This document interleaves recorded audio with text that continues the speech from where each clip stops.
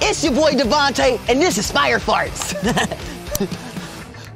If you two think this kind of behavior is going to get you ahead in life, then you're going to be sorely mistaken in 10 years when you can't get a job. No!